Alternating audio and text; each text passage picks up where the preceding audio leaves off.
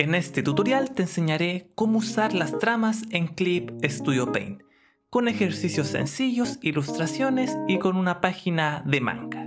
¿Quieres aprender cómo? Acompáñame en este video.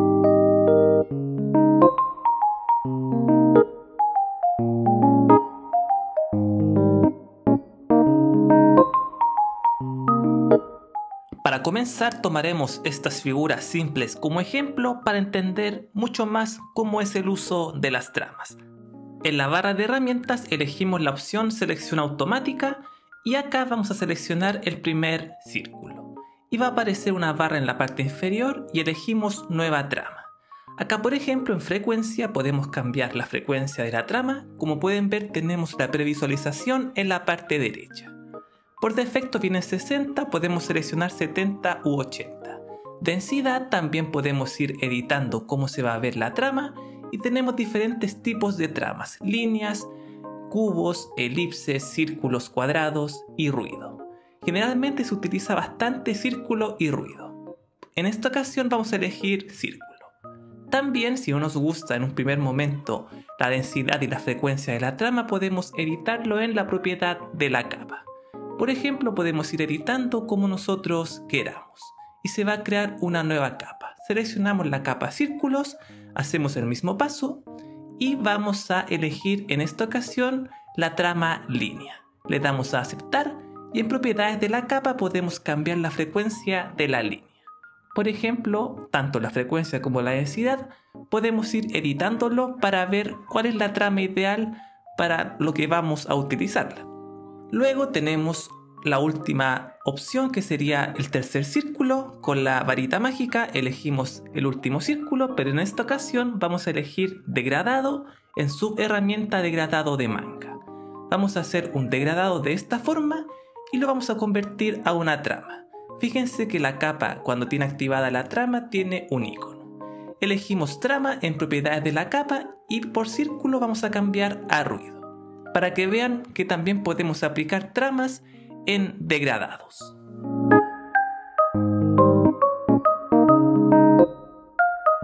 Ahora vamos a aplicar una trama a esta ilustración. Por ejemplo, acá yo tengo todo separado por capa, como pueden ver, tanto la ropa, la sombra de la ropa, también la piel y el cabello de la chica.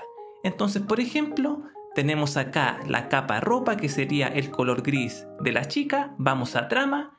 Como pueden ver convertimos la trama a, en este caso, una trama de círculo. Podemos editar su frecuencia.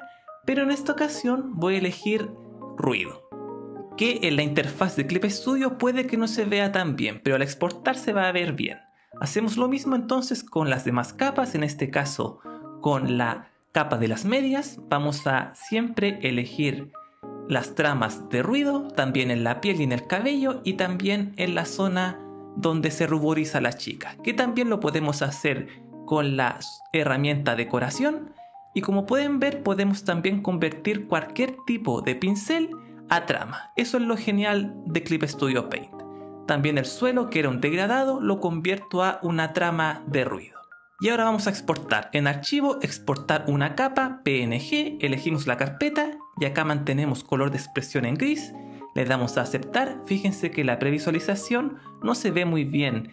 La ilustración le damos a aceptar, pero la imagen final, fíjense que se ve bastante bien, respeta muy bien las tramas, los degradados y se ve realmente genial.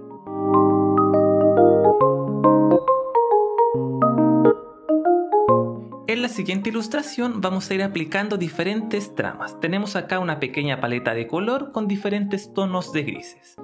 Por ejemplo, acá tenemos la capa Sketch o el boceto y vamos a crear una nueva capa sobre la capa del boceto llamada Tramas y en color de expresión vamos a ponerla en gris.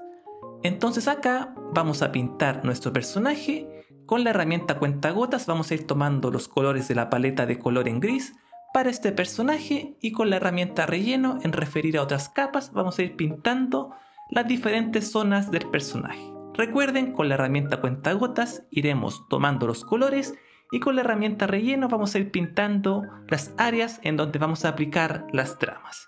Por ejemplo, en este caso, de forma muy sencilla, aplico las tramas al cabello, ojos y la ropa. Y una vez hemos finalizado, activamos la trama en propiedades de la capa y como pueden ver se activa la trama en toda la capa, sin importar que tengamos diferentes tonos de grises en una misma capa. Podemos probar también la frecuencia en 60, 30, 70, como ustedes quieran. Por ejemplo, acá yo voy probando diferentes tipos de frecuencia de la trama, pero para continuar, por el momento vamos a desactivar la opción de la trama en esta capa porque vamos a aplicar más color a esta ilustración. Quiero hacer que se vea sombra en el personaje. Por lo mismo, como pueden ver en la paleta de color tengo más tonos, es decir, dos por cada parte del personaje, por lo cual voy a ir tomando con la herramienta cuentagotas el color más oscuro y voy a ir pintando la zona oscura o más oscura del personaje. Como pueden ver voy logrando un efecto mucho mejor y van a poder darse cuenta que vamos a poder aplicar la trama a todos estos tonos de grises y se va a ver realmente genial. En este caso podemos ir agregando el color tanto con la herramienta relleno o con la herramienta plumilla para hacerlo de una forma más libre. Y una vez hemos finalizado volvemos a activar la opción de la trama y como pueden ver se ve aún mejor. Se ve con volumen el personaje.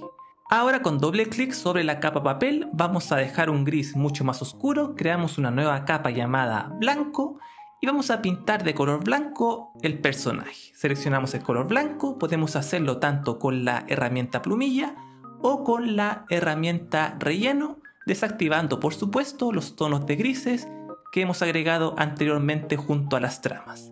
Ahí lo tenemos, vamos a volver a hacer visibles las tramas el color de la capa papel lo dejamos por defecto en blanco y ahora vamos a elegir la opción borde de viñeta.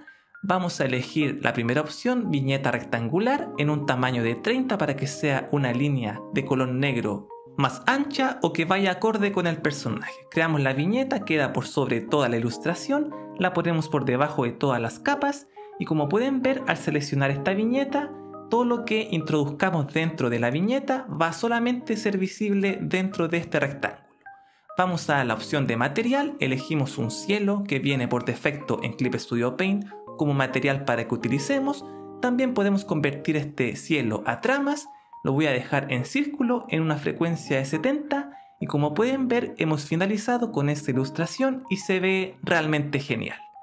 Ahora vamos a exportar, archivo exportar una capa PNG, guardamos la imagen y como pueden ver en la previsualización tiende a no verse muy bien, pero si vemos la imagen final, como pueden ver respeta todas las tramas de la mejor forma, logrando un resultado realmente increíble.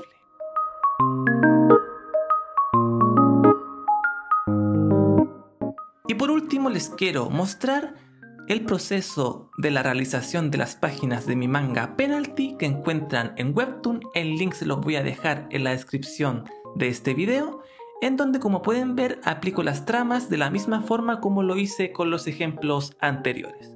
Y como pueden ver, este es el resultado de la página. Las tramas se ven realmente genial y la página queda muy bien. Espero este video te haya sido útil y te ayude a entender mucho más el mundo de las tramas en Clip Studio Paint.